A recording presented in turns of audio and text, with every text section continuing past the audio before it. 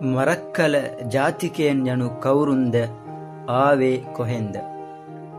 ಮರಕ್ಕಲ ಲೆಸ ವರ್ತಮಾನೆಯೇ ಇಂದಿಯಾನು ದಮಿಲ Muslim ಪ್ರಜಾವ ಹೆದಿನ್ವು ವದ ಅತೀತೆಯದಿ ಕರಾವ ಕುಳೆ ಜನತಾವ ಹೆದಿನ್ವು ತವತ್ ನಮಕ್ ವೂಯೆ ಮರಕ್ಕಲ ಲೆಸೆಯ.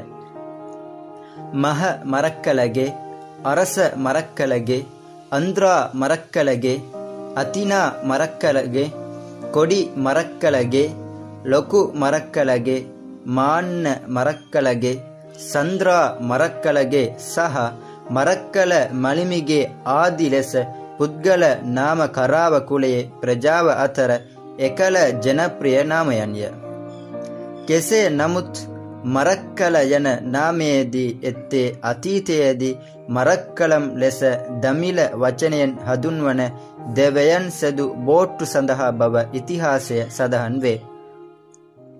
දකුණු ඉන්දියාවේ කේරල නැගනහිර බෙංගාලය හා මලයාලම් ප්‍රදේශවල ජනයා මරක්කාර් ලෙස හඳුන්වන්නේ මෙම බෝට්ටු සඳහාය.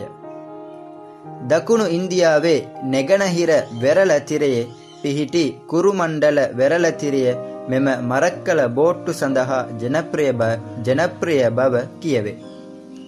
දාසය දා හත හා දා අටවැනි ශත වර්ෂයේදී පෝර්තුගිසි ලන්දේසි හා ඉංග්‍රීසි යටත් විජිත නාවික යුද සටන්වලදී මෙම මරක්කල ලෙස හඳුන්වන බෝට්ටු වර්ගය එකල නැගනහිර ඉන්දියානුවන් භාවිතයට ගෙන ඇත.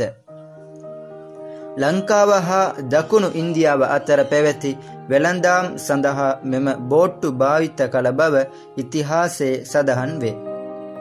කරාව කුලයද එදා මෙදා තුර සම්ප්‍රදායික දීවර කර්මාන්තයේ සේම නාවික ගමන ගමනයේදීද ප්‍රවීණයන් විය.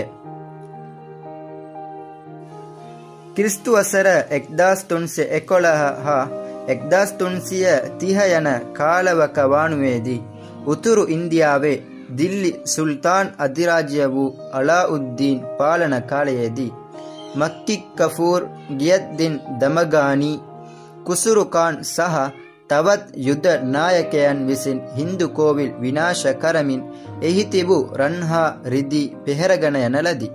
මේවක වානුව තුළ ඉන්දියාවේ එනමි එනම් ක්‍රිස්තුවසර එක්දාස් තුන්සිය තිහ දක්වා දකුණු ඉන්දියාව තුළ මුස්ලිම් පාලනයට නතු වුණේ නැත. ක්‍රිස්තුවසර එක්දාස් තුන්සිය අසුවේදි. උතුරු ඉන්දයානු මුස්ලිම් පාලකයක වූ සිකන්ඩර් විසින් දකුණු ඉන්දියාවේ බලවත් දෙමළ රජක වූ කුමාර කම්පන් මරා ඔහුගේ හමුදාව පරාජය කරමින් දකුණු ඉන්දියාව මුස්ලිම් පාලනයට නතුවිය. උතුරු ඉන්දියාවේ සේම දකුණු ඉන්දියාවේද මුස්ලිම් සේනාව ව්‍යාප්තවීමත් සමග එවකට පසු එවකට විසු චෛන හින්දු හා බෞද්ධ ප්‍රජාව ඉස්ලාමය වෙළඳගත්හ.